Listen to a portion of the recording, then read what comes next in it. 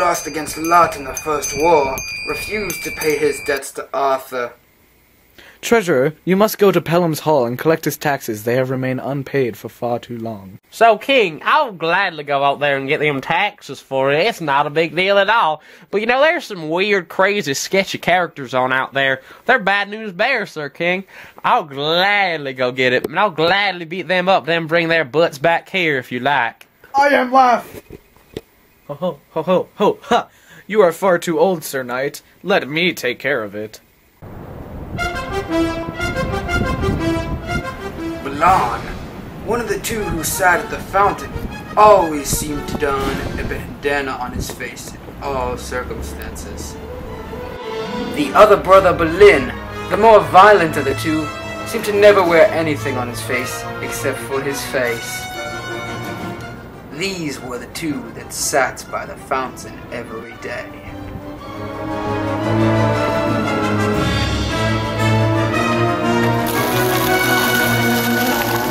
One day, Arthur's youth returned to him, and he disguised, armed, and readied himself to go towards the fountain and confront the two. When he arrived, he found the two standing there statue-like.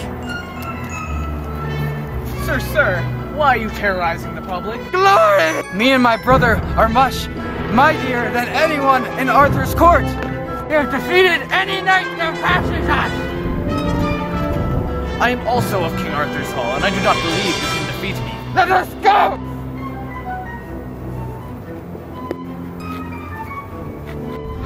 King Arthur, ever so impressively, defeated the two with much ease and style. He headed back to his castle, the two knights never knowing his true identity. Balin and Balan shamefully set themselves back in front of the fountain. Sirs, sirs, come follow me. King Arthur wants you. Let's go. Let's go. Go into Arthur's castle. Go into Arthur's castle. Speak to me. Your names. Why were you standing by the well? I am Balin, not more than a savage. My brother here, a better man than I, is Balan. Three years ago, I was exiled for attacking a member of your court, Arthur. He spoke much evil against me, and that is why I acted the way I did. Unfortunately, I've always been prone to raging madness, and recently things have been getting worse. Often I took violence on myself, but my brother always saved me from doing that. During our three kingless years, I defeated many of the Round Table's knights as they passed their wells, so I could prove to you I was strong and worthy to come back to your court. But recently, an unknown knight passed, and he defeated me, brother and I. King Arthur, I ask, will you take my brother and I back to your round table? I truly am appreciate. Your work is good. There are vacant chairs for you to fill over there. The group who had traveled to Pellam's castle entered Arthur Hall with some news. Sir King, you traveled to meet with King Pellam like you asked. What we found was a man the opposite of dangerous. It appears he has found Christianity. Ha! Like you, he wants to prosper. Pellam claims he is a descendant of Joseph of Arimathea, who first brought Christianity to Britain. To be pure, he has pushed away his wife and barely even eats. No woman enters his gates even. And King, he showed us a magnificent shrine, and inside were incredible wonders. Bones of martyrdom, silvers of the cross, and the very spear that pierced the side of Christ, he says. We were amazed, but due to him not being interested in worldly matters anymore, he has passed them down all to his heir, Garlon. Coming home through the deep woods, we found a knight who was murdered with a spear in his behind. We buried him and figured Garlon must be the killer. But a woodsman who happened to live in the woods reported of a demon who roamed the woods. This oh so terrifying demon was a man alienated by his people, and he decided to learn black magic. He hated his own kind, and when death came to him, he became this fiend that roams the woods. What a spooky story. I am scared, but who will hunt the demon in the woods for me? I will go to defeat this woods demon. And with this, Balan left, and Balin was set on learning Arthur's principles of knighthood, courtesy, and manhood. To him, Lancelot was the perfect knight and example of these ideals. Balan made Balin promise to control his moods while he was away. One day, Arthur and Balin began conversing. You've been my knight for a while. What is it you wish to bear, Balin? Arthur said. I truly admire the quality of the gentleness of your wife, Guinevere, possesses. I know this is bold, but may I bear a token of her on my shield? He said, I shall allow you to do so. Take her royal crown and put it to use as well. I pray it helps with your violences. Balin's dark feelings managed to still torture him despite his great success. Deep inside, a flame still raged on. Even though Arthur's hall was filled with great joy and happiness, Balin was not. But one morning, Balin happened to be sitting in a garden close to the castle. The place was magnificent. Down one side of it walked the queen, and on the other, Lancelot met her. Knight, are you so little loyal to me that you just passed me by without wishing me good? No, my queen. I would still be loyal. But to just pass me by is incredibly disloyal. I would not do that. Be courteous knight like you're supposed to. Okay. The two hugged and looked at each other with love in their eyes. What a scandal!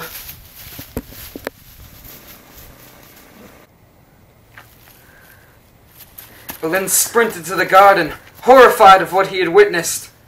No! Not the queen! True love is dead!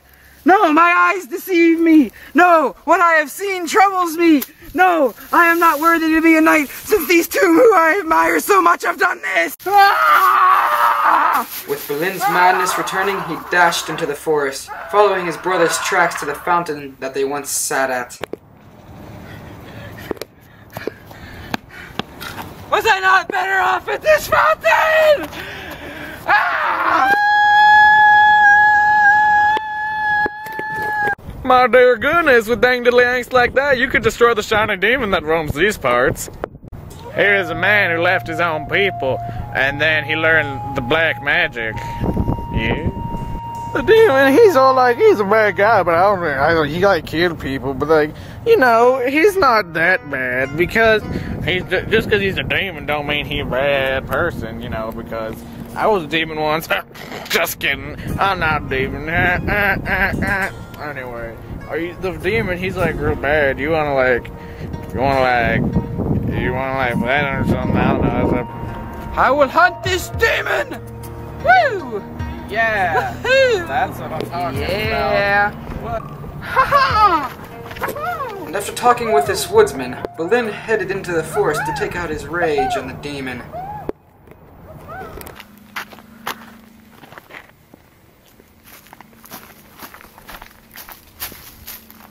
He walked around for a good while, admiring nature foolishly. Little did he know the demon was much closer than he anticipated, and was going to strike him any minute.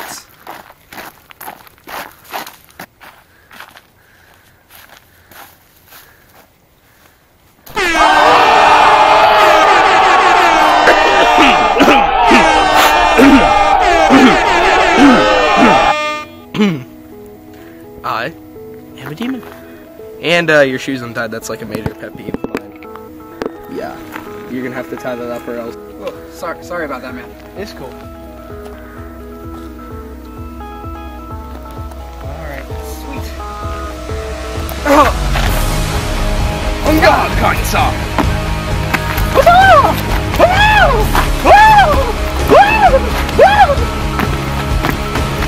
I have no time for you. I have more pressing issues. You demon! You're the spookiest of all demons! Farewell! Does he often? Losing his lance and his dignity during the battle, eventually he came to Pellam's castle.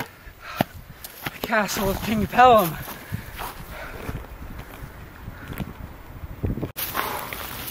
Oh, hello. Lord, why do you come to Pellam's Castle? Why do you have a crown on your head? Fairest woman alive, Cadence, and you have to mark your He entered with one of Pellam's men into the hall of Pellam. And this place really went downhill. Oh. Upon his arrival, he was greeted very well, and a feast commenced. Welcome to my hall. Let the feast commence.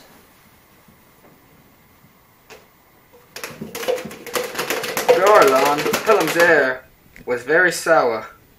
Riddle me this, Batman. Why do you possess that royal crown? Our fairest and purest queen granted it to me. I'm giving you a dirty look. Garlon in the kingdom of Pellam all had a hatred for Arthur's men. Tis true she is the fairest but purest. Ha! She is a secret shame.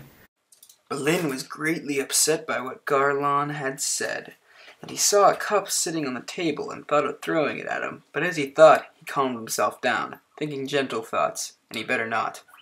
Garlon! Why would you speak with so much foulness to a guest? I have seen with my own eyes she is the fairest and the most purest. This is felon talk. Let there be no more.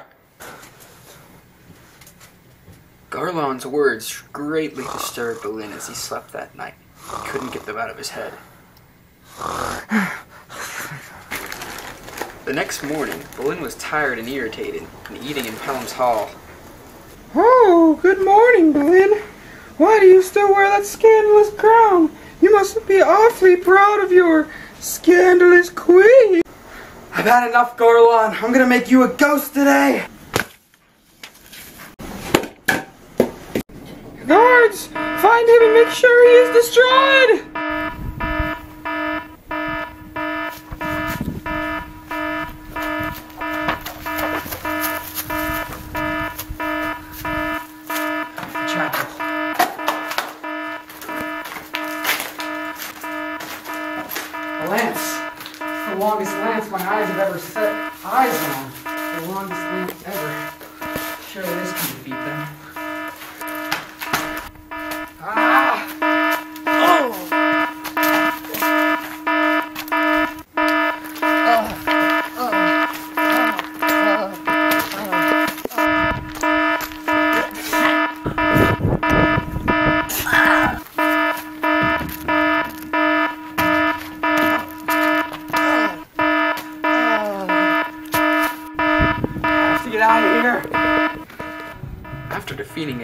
A ton of Pellam's men who conveniently happened to look exactly like each other, Balin hopped into his fancy horse to ride away. Horse!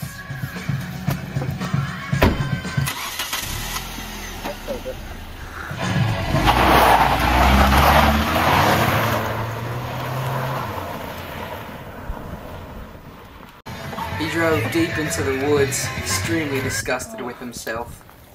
Oh, I can bear these no more. My violences, my violences. Traveling deeper in the woods were two who came from the Hall of Mark, Vivian and her squire. Vivian was of a pagan religion who hoped to undermine and overthrow Arthur's power in the region. Lo and behold, a royal crown from the Hall of Arthur.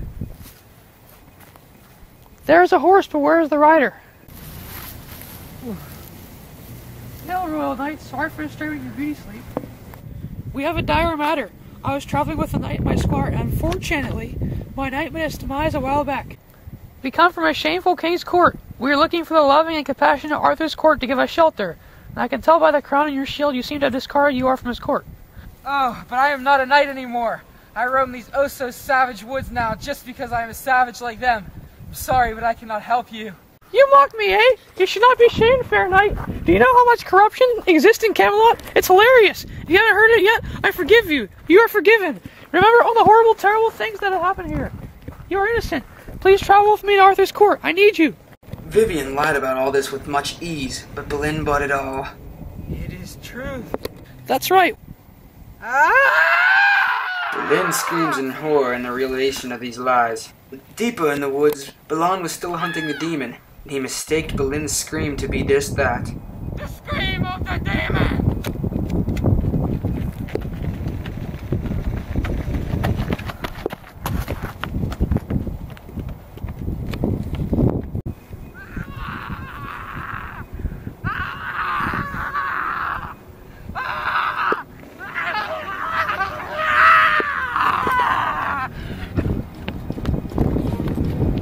The demon! You're done for now.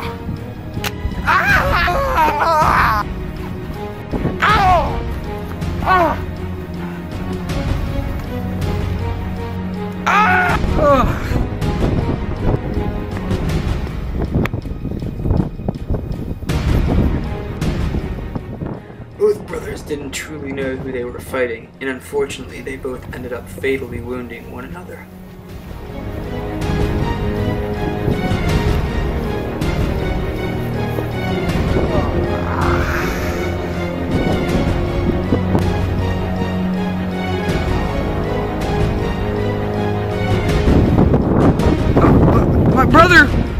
Balin! I thought you were the demon and I came to avenge your death and I thought I got you and I was coming to get you, but well, you're not the demon. Why were you not wearing the shield and the crown? Brother, brother Balan.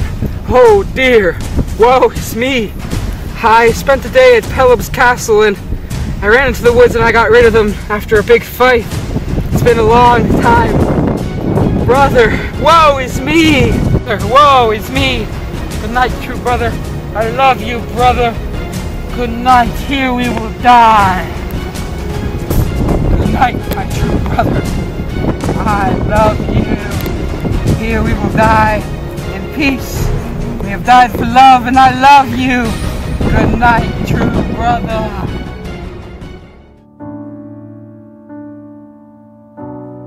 Say something, I'm giving up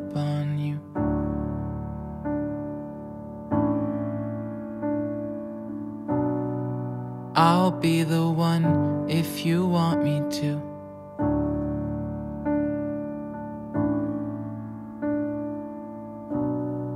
Anywhere I